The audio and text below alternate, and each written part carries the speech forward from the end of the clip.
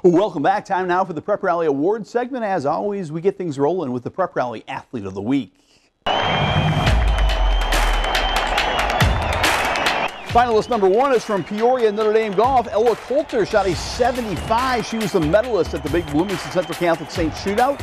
Rolling in a long birdie right there. From Normal U High, quarterback Alex Weiland went 21 out of 29 passing for a couple of, couple of touchdowns in Normal U High's big opening night win over Springfield. Big debut by Weiland and the Pioneers. But our winner is from Morton. Brett Michael of Morton had over 100 yards rushing and a couple of touchdowns. He also played an incredible game at both linebacker and defensive back, including a game-sealing interception late. Brett Michael is your 25 Sports Athlete of the Week for Prep Rally.